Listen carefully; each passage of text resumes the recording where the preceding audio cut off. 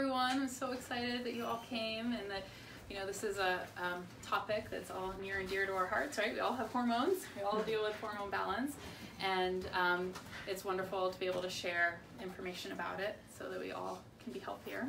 Um, so my name, before I get started, my name is Sophie Alexander. I'm the lead practitioner here at the Nutritional Wellness Center, and um, I call myself like a holistic practitioner or clinical nutritionist. My goal is really to help people be healthier and happier without the use of unnecessary drugs or surgery. And um, I want to share a little bit about my background, my story, so those of you who don't work with me or don't know me would know why I'm motivated to be here tonight and talking to you about this important information. Um, but now, you know, now in retrospect, I can look back on my health history and really see see little signs of when my health story began, and particularly reflecting on hormones and hormonal balance, you know. You know, I got my period at age 11, you know, and that's like on the young side, and it's happening at younger and younger ages. And we can go into a whole conversation about that, but, um, you know, and then, gosh, by early teens, I was having horrible menstrual cramps, like so bad that I was taking these big Midol pills, and they weren't really handling it. Um, and so much so that like you know got put on birth control about age 16 with the whole idea of oh it's going to help balance your hormones right? Um, and i was i was on that without really kind of any second thought until kind of my mid 20s until i started to become more educated about what it can mean to be on birth control for long periods of time. Interestingly along that period of time late high school into college i started developing like really bad blood sugar handling issues terrible stomach aches. Like once I was in college, I would um, eat in the dining hall and then have to lie down for a couple hours just while the pain would pass. Um, as I got, you know, more educated about gut flora balance and things like that, well, how interesting to learn that, you know, being on birth control can affect the gut flora. And so it, it's just, you know, it's always fun to be able to look back in retrospect, not, you know, while, while you're living it but I didn't necessarily um, head down the path of becoming um, a nutritionist till after college when I got Lyme disease um, and after doing a couple rounds of antibiotics, didn't really get to the bottom of it. Unfortunately, I kind of caught the symptoms late, about six months later than the actual tick bite. And so I was dealing with arthritic type symptoms. Um, and so then I, I, just started studying herbs and I started studying nutrition and I moved to Ithaca to study herbal medicine. Um, and I would drive down Green Street all the time wondering about this radish on the side and like wondering what it was about. And when I like looked at the website and saw that it was all about like whole food nutrition and, what and quoted the Weston A. Price Foundation, I was like, okay, I know I've found my people because I had been um, kind of already studying um, Nourishing Traditions cookbook and things like that. So I became a client of Tara's, you know, and within three months of being a client, I no longer had any um, of that severe bloating or the pain after eating. And I, um, you know, I had already transitioned off of birth control, but then the menstrual cramps came back. But after working with her, you know, that I no longer had menstrual cramps, and within time, um, you know, the Lyme symptoms came under control too. And so I went back to school studying nutrition, and as soon as I graduated with my master's degree, I was like, Tara, will you hand hire me? Mm-hmm. And know, so Tara is um, the owner and founder of Nutritional Wellness Center, and I've been here ever since. So um, I'm excited. Um, um, yeah, yeah, yeah. It's just someone commented on Facebook because we're recording this is Facebook Live, just about how so many people are getting their periods at younger ages and how this is an ongoing problem with um, with daughters. Yeah, just yeah, it's part of why I'm here, why I'm sharing this information, why I'm so excited. There's such a turnout for folks to be able to share with their friends, their families, their daughters. Um, and so we're here to talk about hormones and hormone balance, right? And how to do it naturally. And so I wanted to really start because it's a confusing, really big topic. It's a pretty broad topic. I wanted to get into some more specifics and help folks um, have a better understanding and overview. So the hormonal system, a lot of people call it the endocrine system. Um, we have this kind of confusing looking chart in your packets, which is Harrer's chart for the endocrine um, organs. And so I'll be referring to that. But, but before we get into that, I really want you to think of your hormonal system as your body's planning committee.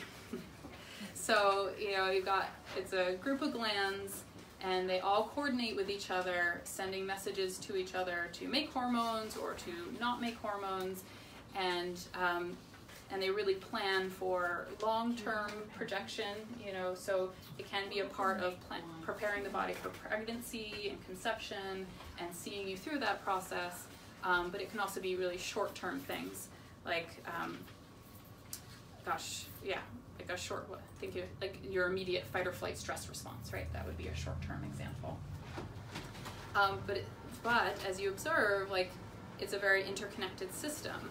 So you can't just have one aspect of it healthy. All of it has to be healthy, and actually your well-being and your hormonal balance is dependent on each actor or each mem- committee member, we should say, being um, happy. So a lot of folks, I have my list to refer to, and, and I'm going to be really a lot going off this handout that you guys have in here. So you can see over in this sheet, we've got hypothalamus right here in the top corner, right? And so the hypothalamus is a gland in your brain. A lot of people think of it as like command central. It's where a lot of hormones are made and stored. And then that information is passed to the pituitary. And the pituitary is also a gland in the brain.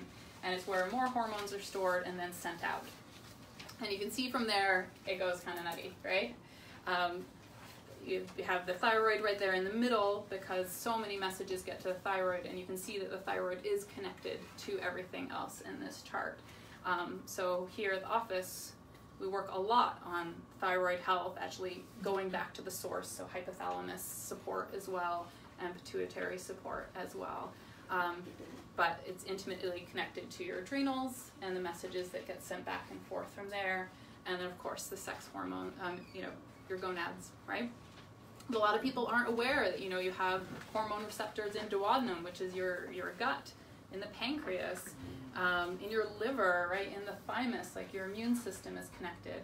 And I don't want to get into too much detail or kind of overwhelm with that um, information, but I just want you to kind of observe, like the solid lines are um, a, a, one type of message, and the dotted lines are another type of message, and just really take in what a complex system it is and um, and realize that there's so many different aspects of what can go out of balance and so it's you know it's not just that your adrenals aren't functioning or that you're hypothyroid or um, that you have blood sugar handling issues you know it's actually broader than that and so what we do here is we do a whole body approach and a whole systems approach because it's about how all the organs talk to each other and actually how that interplays in, in getting a body healthy.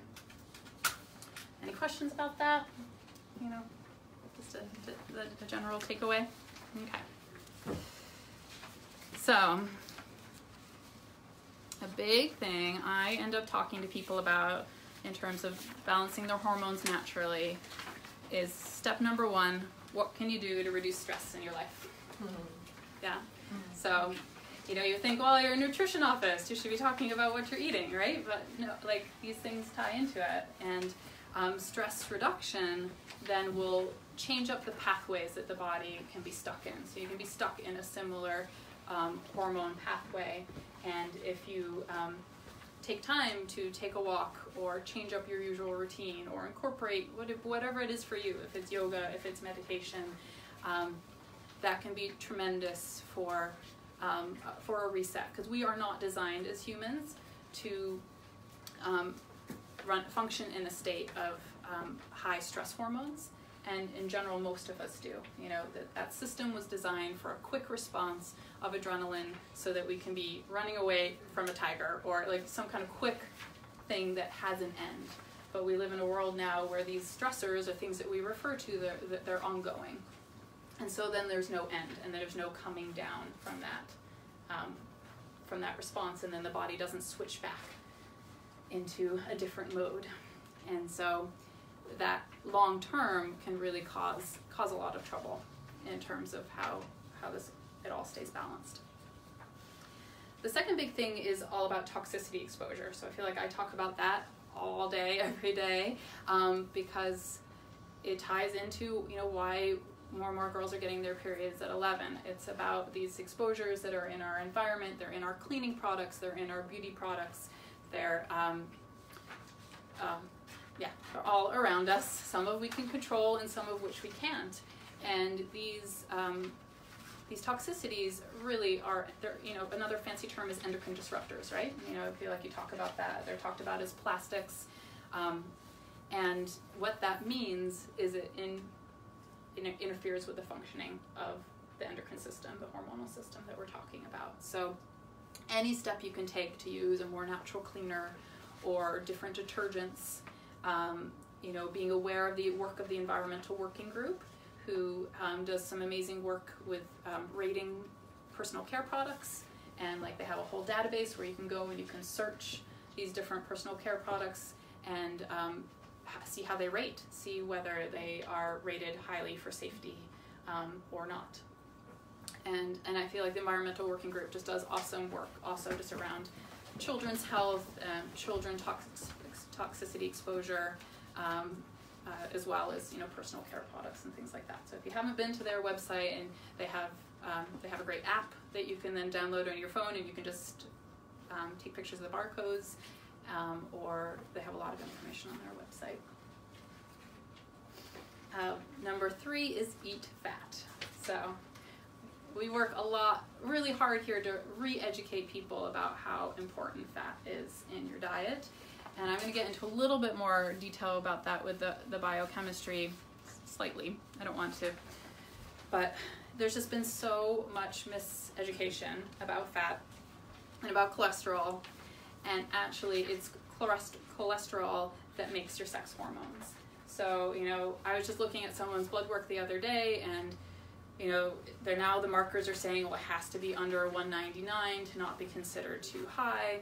And um, you know, in the world of a clinical nutritionist, if you go under 160, which a lot of doctors are pushing because they have folks on statins, um, you get into a place where the body cannot actually make its hormones. It's having to choose between using that cholesterol to run certain pathways and make your sex hormones or not.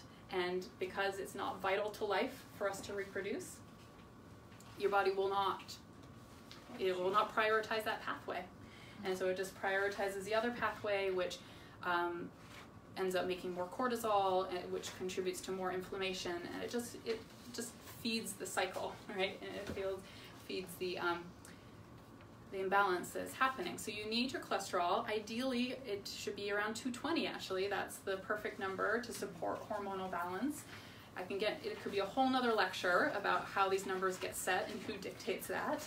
Um, uh, but so please don't get worried if your cholesterol is over 200, and please do eat butter and eat coconut oil and eat eggs because they do um, nourish. They nourish the system, and I've had like awesome clinical results if I just, particularly um, younger women, if I have them like add coconut oil into their diet, like say they're not having regular menstrual cycles or have something even like polycystic ovarian syndrome just adding the coconut oil back in and making it a part of their routine can do tremendous amounts of just getting the body to get back into making the hormones itself. So, yeah, ignore what they say about coconut oil. there was just yet another article. I'm going on a bit of a rant here, but there's just yet another article like circulating around, and it just brings up all the fear and it brings up all these old arguments against saturated fat that aren't um, that aren't founded. All right, so enough about fat, except you should eat it. and then a big thing is about veggies. So um, your veggies are an amazing source of your um, minerals, right? They're your fiber. You actually need a lot of fiber for your body to um, recycle your hormones and clear them out of the gut. Eating your vegetables, especially your green leafy vegetables, there's a huge part of liver health and a lot of, I end up working on more on livers to support hormone balance than I actually do working on thyroids or hypothalamuses or things like that. Um, our liver is a big place where all these hormones are um, filtered and then cleaned out. Because the whole idea is that your you know hormones that are circling circulating through the bloodstream need to be broken down and moved out of the body. Um, and your liver does that your liver also plays a huge role in converting hormones. So a big issue with thyroids can be not about the actual thyroid hormones being released, but are they being converted properly from T3 to T4 in the liver? So you need, yeah, it says in here, diet's lacking in B vitamins, right? Cabbage, Brussels sprouts, eggs, garlic, onions, um, you know, lead to sluggish liver and sluggish bile flow. Fact that so many people are not eating good quality fats that we just talked about. So, you know, cholesterol, butter, um, extra virgin olive oil, flax oil, these are all examples of your healthier fats, but most processed foods, most restaurants, a lot of people are still cooking with canola oil or hydrogen- hydrogenated vegetable oils, um, and that just clogs that liver up. So that's another piece of um, why we have an epidemic of people struggling with their hormone balance, and it can be, be tied back to these, these simple changes. Um, and then a biggie is soy. So avoiding unfermented soy can be a big part of supporting hormonal balance. I mean, it's on the news a lot right now because of all the trade wars, right, and what's going on with soy in this country. But soy, um, we make a lot of it. We make so much of it, we don't know what to do with it, and we hide it in all sorts of things. So it's in a lot of processed foods. Um, it's put into soybean oil is just everywhere, right? It's in our salad dressings, um, and and soy is um, estrogenic, and like so meaning it's supporting um, estrogen in the body, but so many many of us are in a state where we actually have plenty of estrogen, like and so. Um, the soy contributes to the problem, whereas unfermented, yeah, so fermented soy, at least like I'm talking about miso, or I'm talking about tempeh, um, and some that's at least easier to digest, right? Because it's um, been pre-digested by the fermentation process, so it doesn't seem to it doesn't have the same effects. And for most people, the main issue with soy is just that it's hidden in so many things. So it's not that they're sitting down and eating lots and lots of tofu, um, but that they're getting it from these other sources that they're not aware of, and it's um, negatively impacting things. Any other questions so far? I feel like I'm talking kind of fast. I apologize. So if you need me to repeat anything or slow down, I absolutely can. So um, should you avoid all soy? If I'm if I'm working with someone who is dealing, say, um, yeah, with hot flashes or they're um, premenopausal into postmenopausal and and struggling, then yes, I, I just have them pull all soy out, even fermented soy. Yeah, um, until until a better a better balance is happening. Yeah. Um, but a thing I forgot to mention when I was kind of back in the beginning and talking about stress handling, I see such a correlation with um, women in that range that I was just talking about, pre postmenopausal, really struggling with hot flashes or struggling with that transition, and actually tying back to um, how healthy their adrenal glands were heading into that transition.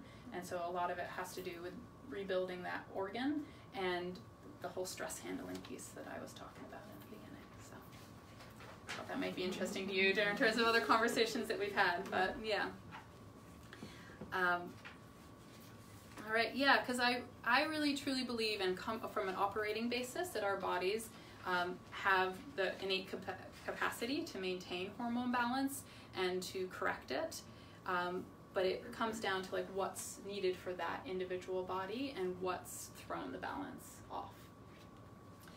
Um, and when given the correct support, the body can heal. And so, really, what it comes down to is like identifying what's the underlying cause, what's thrown the body out of balance. You know, is it a digestive piece? Is it a liver, which would tie into digestive piece, or is it something specific with a specific um, hormonal gland? And um, getting to the bottom of it. And so, with that in mind, I want to explain a little bit more about what I mean, because a lot of you here are clients and you know what I mean by that in terms of um, getting information in the body about specific organs, and then others don't. You know, you're kind of like, what does she mean? How can you find out what's the underlying balance? But um, in my experience with doing this, um, you know, every person is unique, every body is unique, and that really anything can cause anything in the sense that I don't know what's causing one specific body to not regulate correctly and it may not be the same as what's causing another body to regulate correctly. And there's not a one size fits all. There's not just a, a magic bullet. Yes, you have um, you know, you have menstrual cramps, well then you just need to take this. You know, it's um, yeah. It's a simple point, but I feel like it's a really significant point, and that's why there's not like one diet that's right for the individual. It's why you know you have some people are like, well, this was amazing for me, and I got such amazing results with it, and the next person is like, I tried that, and that didn't do anything for me. I do believe that there are underlying principles that do dictate what's considered a healthy diet and a nourishing diet but then, you know, the the nitty gritty of that comes down to that body, how how it's been fed throughout its lifespan, and actually how its parents ate and how grandparents ate, things like that. So it's a really long term perspective. But what's amazing about it is, even though it's a long term perspective, there's still absolutely immediate things that can be done and that can create change. Um, so behind me, I have my little board, and this is where I, and so Oh, I can't have that first, so I got the other one first. Thank you. So I chose to put like fatigue on the top of this because I feel like so many there are so many symptoms of hormones not regulating correctly, but fatigue is a big one that I hear. Um, you know, just the description of what we put for this class, you know, unexplained weight loss or weight gain or um, unexplainable fatigue, um, changes in nail quality or changes in skin quality, things like that. They all can be um, indicative of poor hormone balance. But behind me, and I apologize to folks who are on the periphery, and I can kind of rotate it if you want. We've got a triangle here, right? Fatigue at the top, organ dysfunction, nutritional deficiency, right? So fatigue at the top, organ dysfunction, nutritional deficiency and it ties into the, and I'll be explaining more what I mean, but this idea of anything can cause anything. Um, but you see with the triangle, you know, a triangle, everything is interconnected. And what I have found is that in every occurrence of fatigue or just overall hormone imbalance that someone's dealing with, that body has specific organ dysfunction, it has specific nutritional deficiencies, and what is needed is, and is tying into what I was saying before, is um, that we have to identify what's going on for that specific body to be able to begin to rebuild and repair. And so the idea, and I'm sorry, I feel awkward because I've got this camera right mm-hmm. here, and then you guys on the other side, so I, I'll keep moving around. um, but the idea with a triangle is that if you throw off one corner, then you're throwing off the other two corners as well. And I know some of you, you know, you've heard this talk, and you kind of have seen this before, but I, I feel like it's a really important point to, that I keep reiterating. Um, because the idea is that if you have an organ that's not functioning properly, then you're already going to have nutritional deficiencies. And if you have nutritional deficiencies, that's going to cause further organ dysfunction. And, um, you know, so if you have any kind of a symptom, these things are already occurring. And what's unfortunate is that, like, because they're so interconnected, that it causes a vicious cycle. And it causes the body to become more nutrient deficient, which causes it to function less and less optimally, which makes you more and more symptomatic. And so the idea is um, where do we put a halt in this? You know, how, how do you stop it? And the best case, stop it, but even better than that, once it's stabilized, how do you rebuild and how do you repair? And so, um, and what I find, it comes down to identifying what organs are struggling and what they need and giving it to them, and then the, the process can start to be reversed. So, as a fun exercise in your packets, you all have a little quiz. I think you mostly all have something to write with, hopefully. If you don't, we can pass some things around. We don't, unfortunately. Do we have two more packets? We're going to make some for you guys. Three more. Three more packets. All right. Four? Do you need a packet too, Gretchen? Oh, all right. Four. Four quizzes. It's awesome. Thanks for hanging out back there without a proper seat. Sorry we ran out of chairs. it's a good problem to have, right?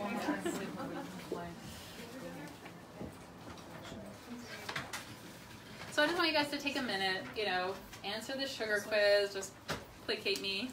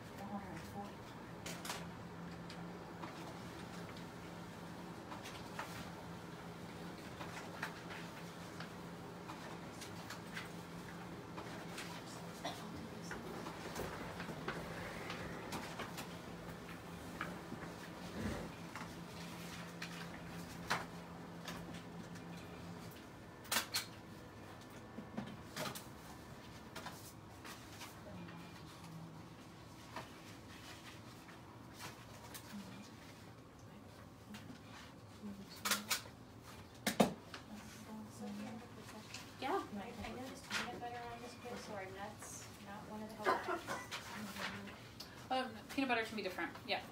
No, not sugar. Yep.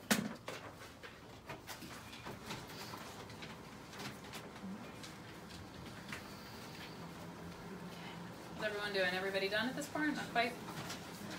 It's about? Wait a minute longer.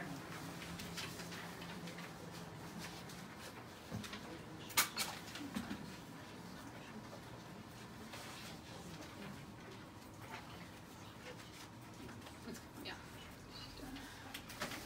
All right, well, so count up your falses. That's the idea with this, is you count up your falses, and then did anybody answer false to four or more questions? Is the idea, and if you did, yeah, yeah, you do.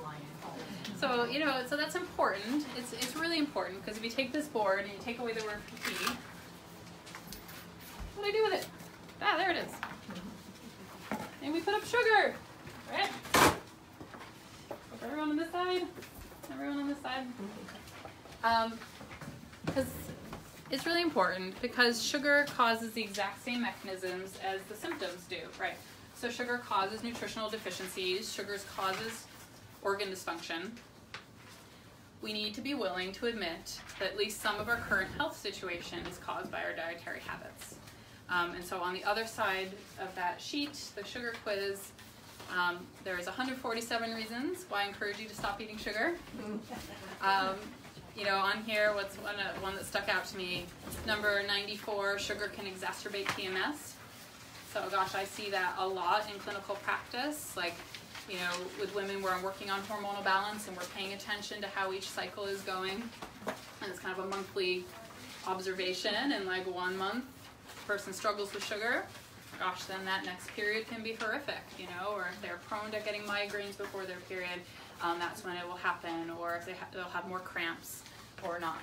So, um, yeah, really um, analyzing one's diet for sugar is, is significant. Um, and just, I encourage you to spend some time, take a highlighter, highlight ones that you feel like are relevant to you, and, and reach for it when you're being tempted.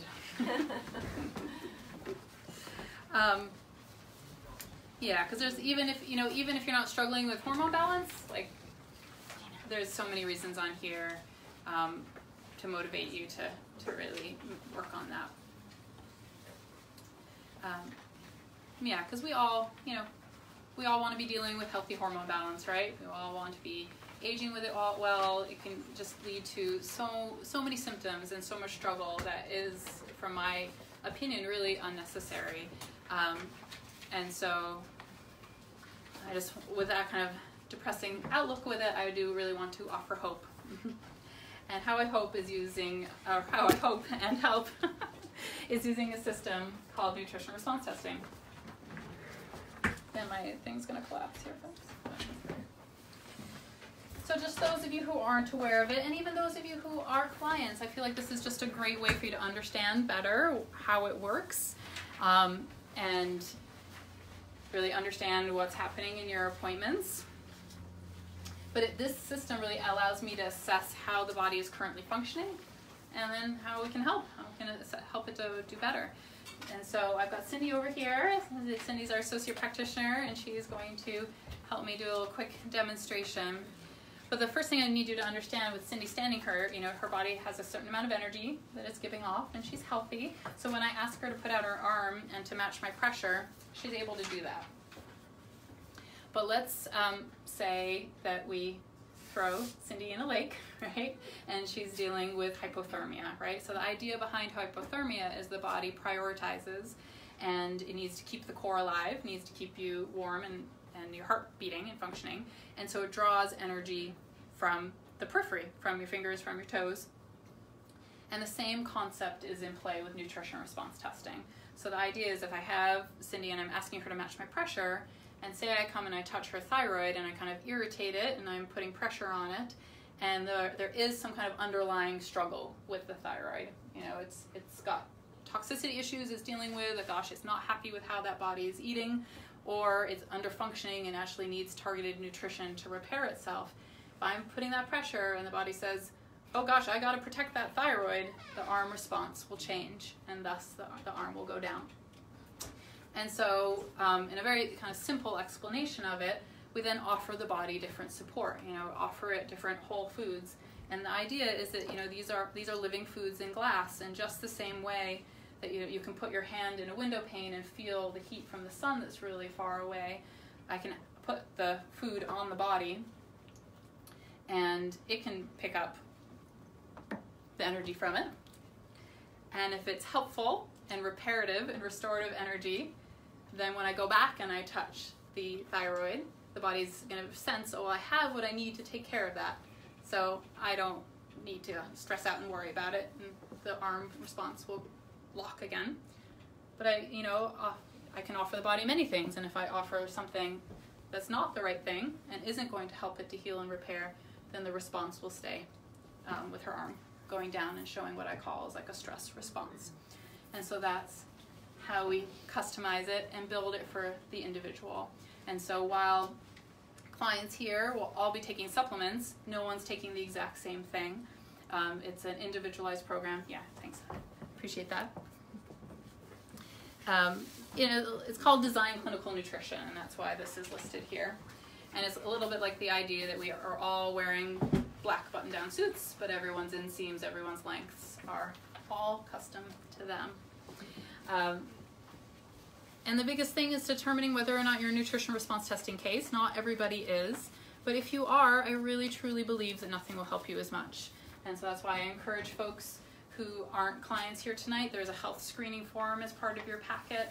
You can fill that out. Happy, Cindy and I are happy to do what we call a health screening and just give you an assessment and see whether or not you benefit from this work.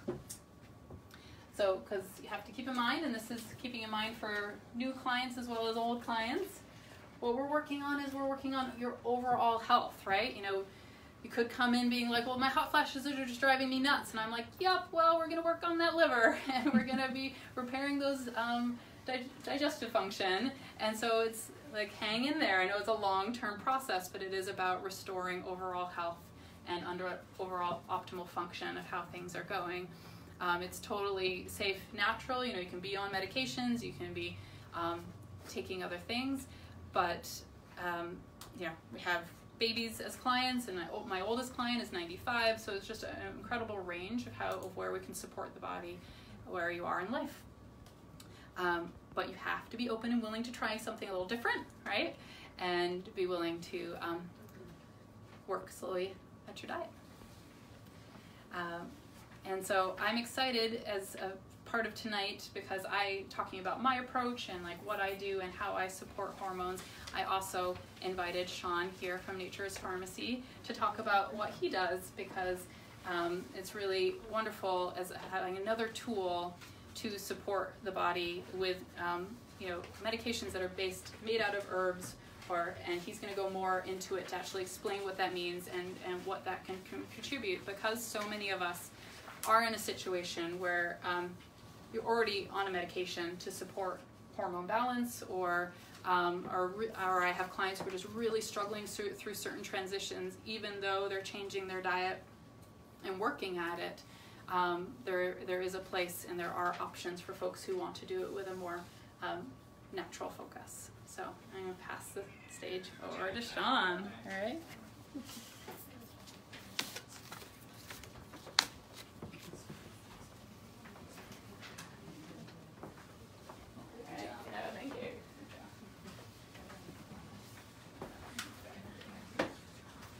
Hi, I'm Sean from Nature's Apothecary, the compounding pharmacy right around the corner. And uh, a lot of people might have heard what compounding pharmacies might not know what it is, but to, an introduction about myself is a compounding pharmacy basically customized medications for people, whether it be a different dosage, different way of using it. Uh, compounding pharmacists can come up with a solution. And what made me go towards compounding pharmacy or uh, be that route is the fact that I was working retail and I just I, I saw people were not really getting the relief that they needed. And it just took a toll on me, so I wanted to make a change in people's lives. So I looked up into compounding and I decided that's where my calling is. As far as uh, what different areas that I can do, uh, I can do things for, I'm working with kids with autism, I'm working with pain management, veterinary use, and as Sophie mentioned, a lot of bioidentical hormones. A lot of people might have heard about all, all there's a couple different forms of hormones, whether it be synthetic, uh, natural, or bioidentical, and I'll go into a little detail on all, all three. Something like a synthetic hormone would be uh, derived from pregnant uh, farm animals such as horses or cows. And so what the what the company will do is basically add a structure to the compound, add a structure to the chemical, so that way they can get a patent on it, which in turn might not work as like uh, bioidenticals would. Uh, then there's natural hormone replacement therapies such as like herbs and soy, as Sophie was mentioned, and then what my fun- my focus is is bioidenticals, where basically they're matching what's identical to what's in the body. And a lot of people might have heard about hormone replacement therapy being kind of causing cancer and higher risk of cancer. And generally, with bioidentical, the risk is actually subsided, and it actually can be a preventative measure versus something using like a synthetic like Premarin or something similar to that line. And the reason is just because the, the body can't respond to the, how the, the change in structure, so in turn it can wreak havoc when something like a bioidentical was the right thing. as far as how do I come up with a formula for a patient is basically I have a saliva testing that uh, allows the patient to give a saliva sample four times a day, and then turn that paints a better picture than uh, something like a blood draw where it's just one time. You know whether the there's any fluctuation with our hormones, it's just going to pick up that level. So basically, if someone had a high level that day, then their level their whole reading is going to be high. So in turn, they're not really going to get the benefit they need. Where with a saliva test kit, it's four times a day, in the morning and before lunch, dinner, and before bedtime, and that actually helps give a better average of what's going on. So in turn, the person's gonna get more relief for it. a couple of different hormones that are I see every day is uh, estrogens such as estriol, estradiol, progesterone, testosterone, DHEA, and estradiol, estriol, and think I said that one. and I'll go into a little detail as far as which what one does what. The estriol or estradiol and is an estrogen, which estrogen helps with vaginal lubrication, uh, thickens the vaginal walls, um, and then and it, as a negative thing, it can increase fat storage. So in turn, someone if their levels are their estrogen's too high, might be causing extra uh, fat to be stored. For a lot of complaints I get with uh, compounding is a lot of women experience vaginal dryness, uh, burning, itching, all those symptoms. And one thing to combat that is I would use something like an estriol cream that's going to help supplement that and in turn provide uh, extra lubrication for the, the women. With the and coming up with a compound cream, I can do different forms. I can do creams, uh, lozenges, um, suppositories, all sorts of things. Versus something commercially, it's just one strength and that's it.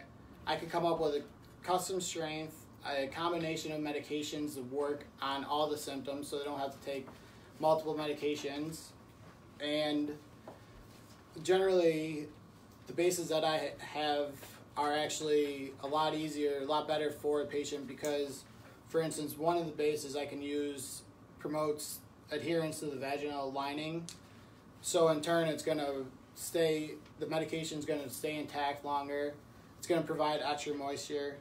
And overall, the patient's going to be a lot more satisfied than taking something that's just available with no, uh, you know, it's kind of like a one size fits all. Doesn't work with me. It's customized per patient's need. Another another ingredient that I use is estradiol, which it's beneficial for people with uh, hot flashes as well as promotes cerebral cerebral blood flow and in turn it kind of helps with memory as well. Estriol versus estradiol is estriol it's uh, considered a weaker hormone and in turn that's the one that can be used in combative uh, against um, cancer different types of cancer related to hormones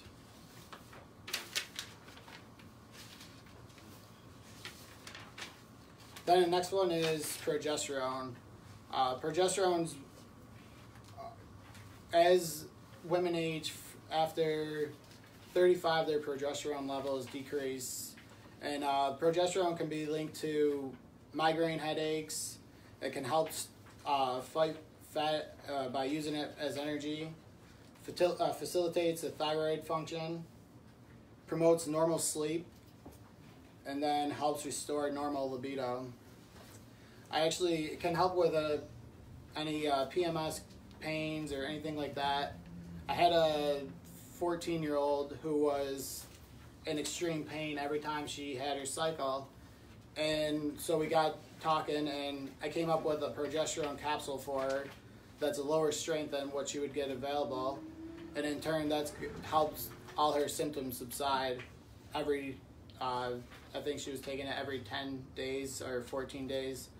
Uh, I have to go out back and check, but with that, it helped her replace the progesterone that she was losing in her body, and so in turn, it helped her sleep, it helped with all the crampings, bloating, everything that uh, she was experiencing. Progesterone is uh, produced in the adrenal glands, and it uh, can help with when the progesterone levels are out out of whack. It can help with uh, cause a lot of fatigue and inflammation. So in turn, people aren't getting good night's sleep. Where taking it by mouth, it actually induces sleep. So a lot of women who can't, who are having trouble or difficulty sleeping, and they don't want to take something like Ambien or any other controlled drug like that, they can their progesterone levels might be off, and in turn, it's going to help them actually sleep and get a good night's rest. It also acts as a natural diuretic.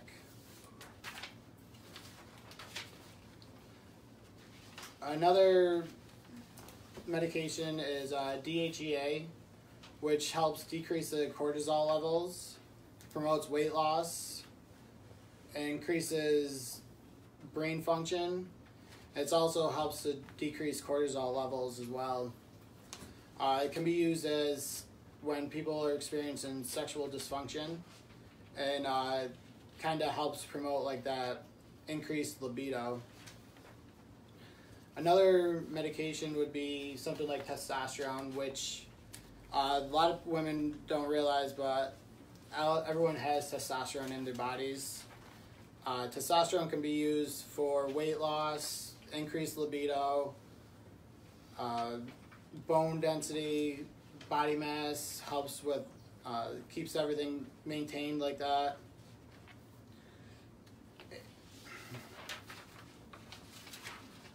And so a lot of uh, women are experiencing, or they've been having a lot of like brain fog that I would come up with a certain dose, like uh, two milligrams per ml, so that way they can use that and uh, instead of having to take other supplements.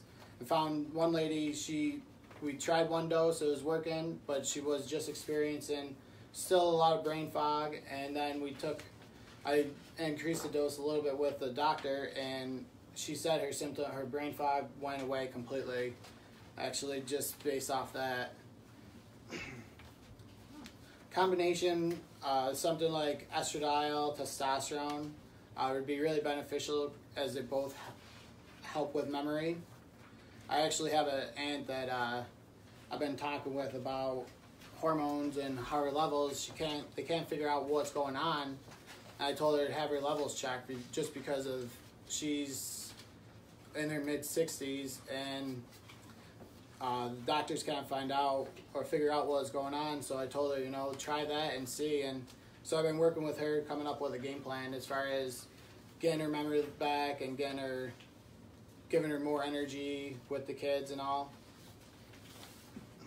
I've included a evaluation sheet that kind of helps talk about all sorts of hormone or symptoms, what can what one might be experiencing, and ways to combat that.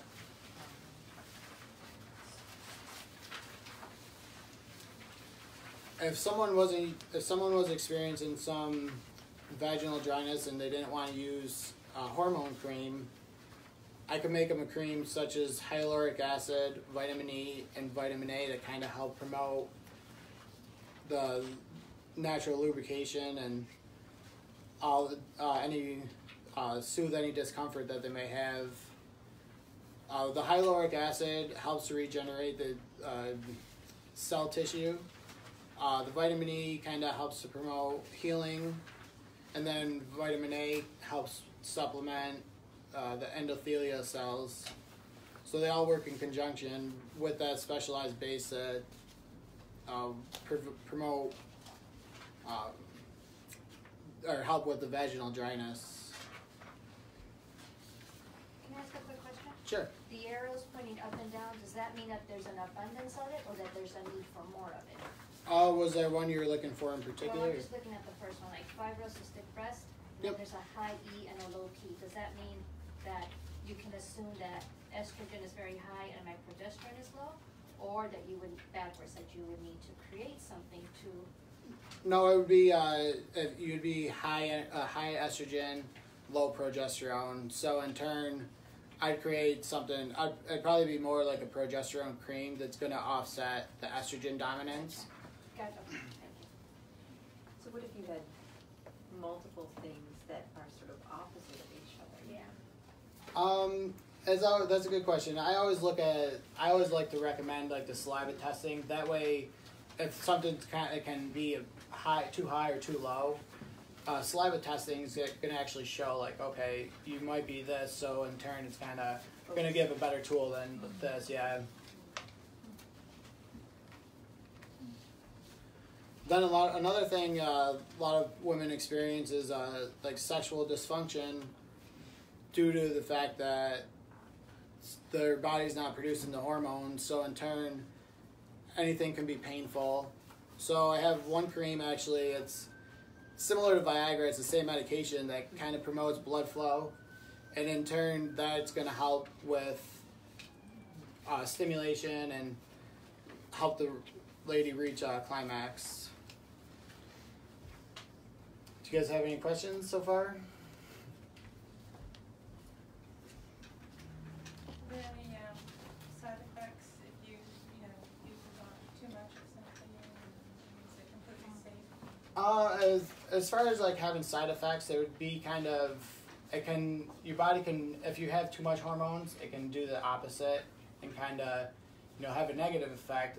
Where that's why I always start low and go work the way up. But in a negative effect, it could be you know having hot flashes when you weren't when someone wasn't experiencing hot flashes, just because there's too much estrogen uh, going in the body. Where generally I haven't I haven't really seen any side effects as far as that. Um, just because starting slower with the saliva test, coming up with a formula or playing a game plan like that to for everything to subside. Um, trying to think. Uh, as far as it's kind of it's kind of tough because you know, there's no every person's different. So one person might be experiencing, you know, a symptom at one strength where other people will be fine with it. So that's why starting slow and working your way up kind of uh, works the best. Usually when I dispense uh, hormone, it would be in uh, syringes, so people can kind of titrate. That way, if they feel like they're experiencing hot flashes, then they can decrease a little bit, and then they don't have to worry about that. Somebody had a question on Facebook about the creams you just talked about. Um, which cream? The one that you talked about last.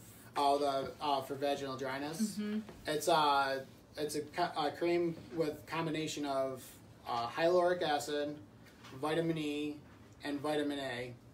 And when I use the cream, I put it in something that's gonna adhere to the vaginal lining, so it, in turn it's gonna stay intact longer, and and uh, provide more relief for the patient versus just like a regular cream uh, with those. They're gonna work well, but using that base, it's kind of a in a, in a sense like a secret base just because it's proprietary through my one wholesaler and I just started using it just because of that aspect of it. I've I've made like a mix between uh 50-50 with the two different bases and the relief that the people got from the base uh, was said that it was a lot higher than just the regular regular cream.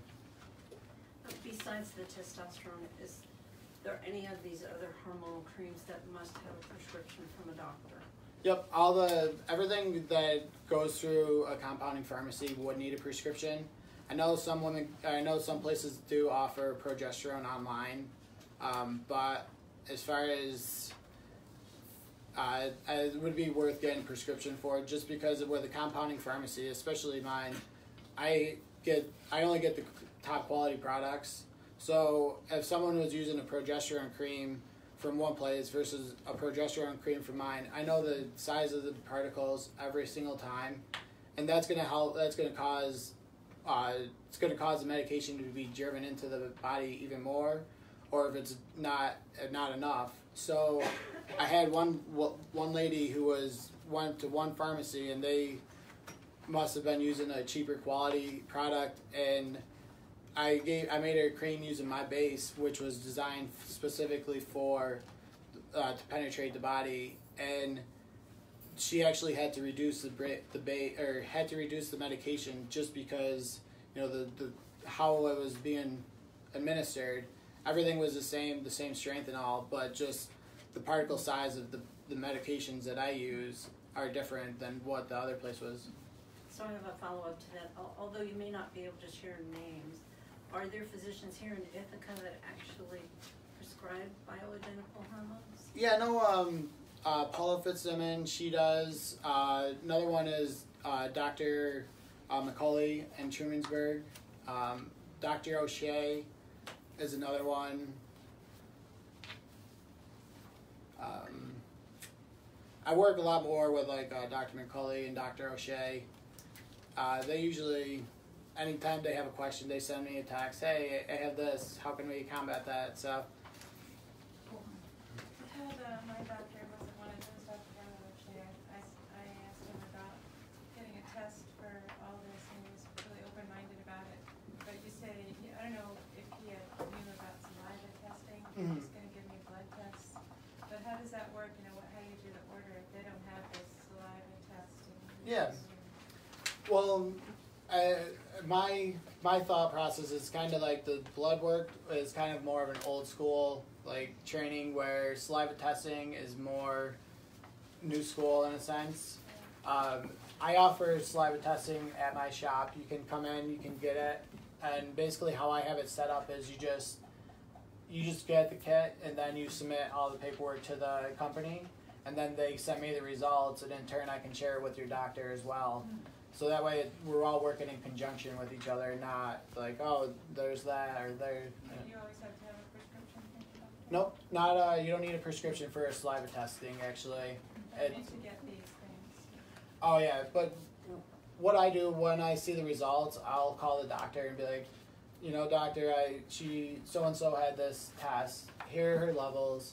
Here's what I recommend. You know, that way, a lot of it comes down to educating the doctors too. You know, it's kind of a, a new school thought, even though all the medications were basically compounded before the mass manufacturing.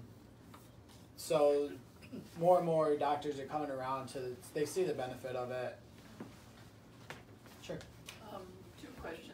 One, um, can one get insurance reimbursement? Yep, that's a good question. I uh, how I set up, I don't take insurance, but I give you a form to submit the insurance. So instead of them reimbursing me in like two months, three months, they reimburse the patient in like two weeks. It all depends really on every insurance company. You know, it's it all uh, some do, some don't. I have a handful that's probably 50-50. All my prices are pretty competitive from all the pla- all the pharmacies that I've uh, kind of called around with, and I always want a price match too, just because I take that into consideration. So I want people to be able to afford the medication because if if they can't afford it, what good am I to have a pharmacy? My second question was, um, do you work with medical marijuana at all? I don't. Uh, I don't do anything with medical marijuana just because of um, at the time it was it was like a two hundred thousand dollar fee for like the application. But I do offer uh, what's called full spectrum uh, hemp oil or CBD oil, and the one that I have in stock actually helps has uh, works on adrenals. It calms the adrenals, works on inflammation, promotes peaceful sleep. Uh, helps with anxiety, depression. I could name like 80 different things for it. And uh, so I have two forms of that I sell. I also carry a salve too that works.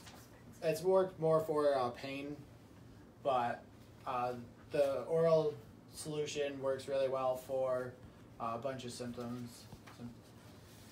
Does that, does that need a prescription? Nope, it's just uh, over the counter. They consider it an herbal supplement, and how it is with uh, New York or actually the U.S. with full spectrum, it can have a slight amount of THC in it, but it's not anything that's going to be psychoactive. It's just enough to work in conjunction with regular with the CBD. And the one stock, one thing, the one that I have in stock, it's um, well, it has added terpenes, and terpenes basically help the medication pass the blood-brain barrier easier, and so in turn, that it's going to make the CBD oil work even better.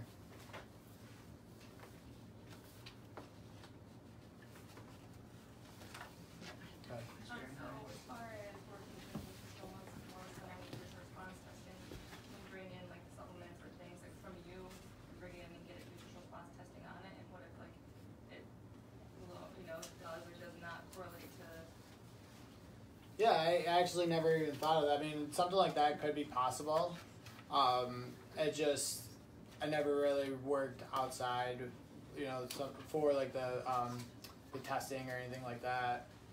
Um, but I would, uh, I'd have no problem doing it. As long, are you talking like a cream or something?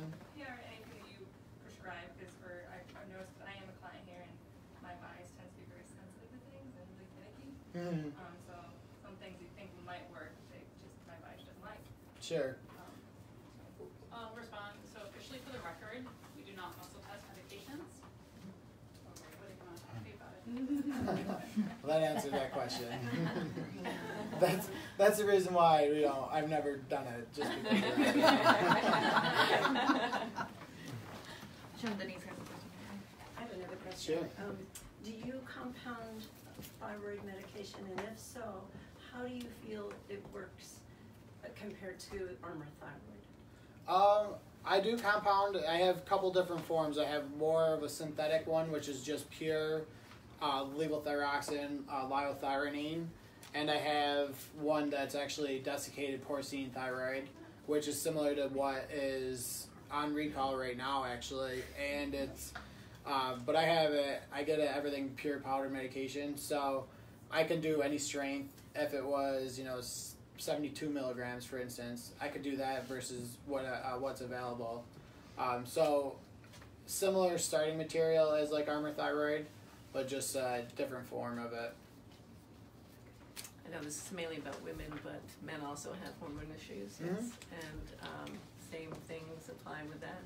Yep. Uh, same thing. Uh, I'm actually working with uh, older gentleman. He's about 84, and I'm making him a testosterone cream just to supplement it. Um, some women or some some men with uh, even like erectile dysfunction, I can make them kind of couple medication combination medications. So works similar to Viagra. Um, I always recommend someone that if they're going for like Viagra to actually be tested for their testosterone, just because guys our testosterone levels drop when we're like started when we're in our thirties. You know, just continuously drop.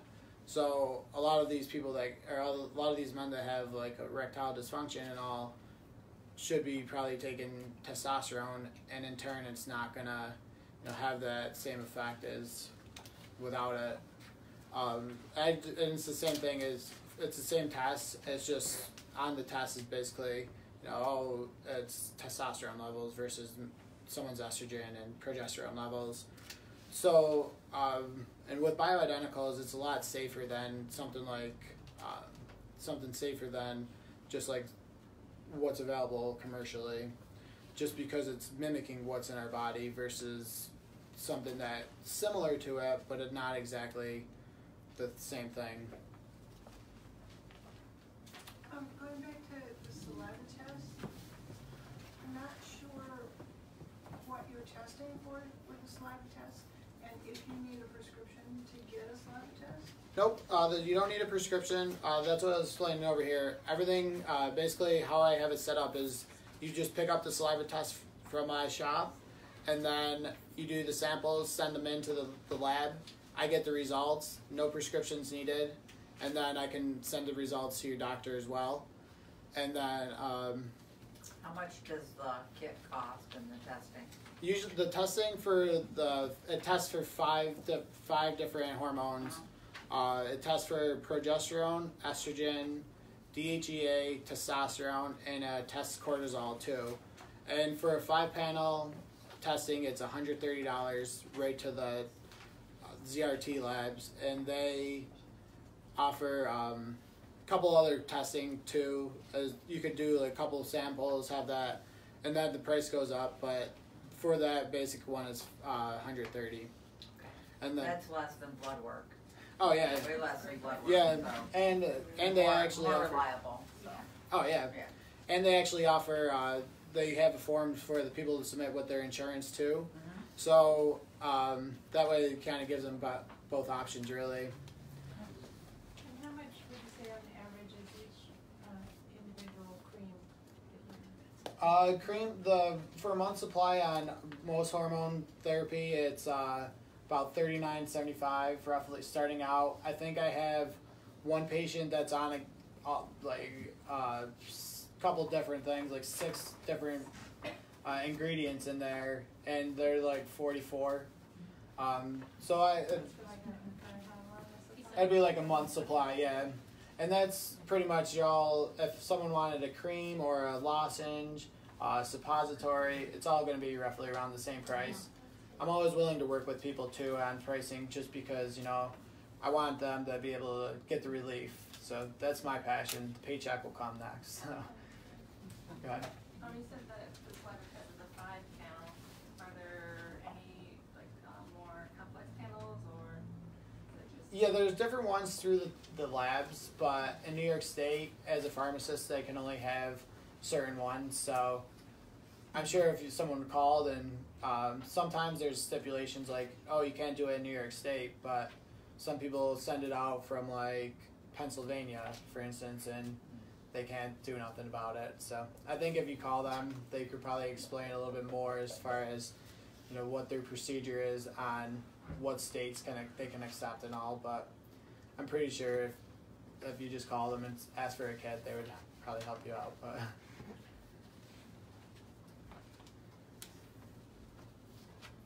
I have a question. Sure. Um, about the base for your vaginal cream, is it, um, like, do you have non-toxic ingredients in there, or like, how safe are those?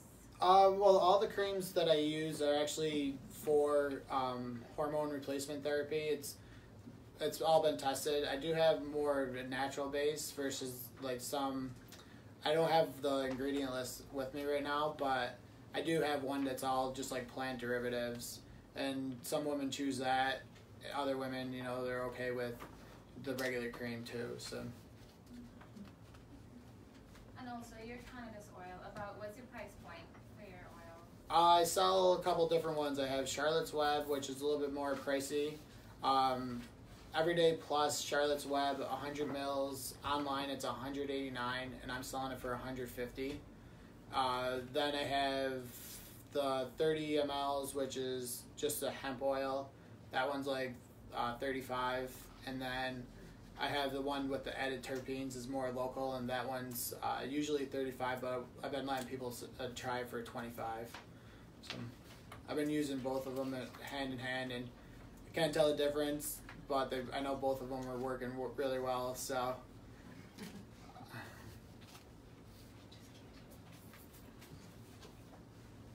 And I'm actually in the process of working with someone else about we're coming up with our own uh, product line. So we're going to be in the next like couple months having our own uh, creams, um, the oils, bunch of other things that I don't want to go into too much detail, but a lot different than what's out there. So I figured might as well utilize the tools that I have. So. Right, yeah, removing a lot of these psychoactive ingredients, right? Mhm. From your Yeah, as far as the psychoactives, uh, the, amount that would be in there would be like this much comparable to like something like that if someone was using like the actual plant material. So it's such a small amount that it's not really gonna actually show up, or shouldn't show up as far as like any testing or anything like that. I'm doing a study with uh, someone that's really close to me about he uh, never tried any CBD oil or anything like that. So I just want to see, like, just to be sure, like, if he tried for 30 days, will anything happen? But so far, it seems like it's been uh, pretty clear. So.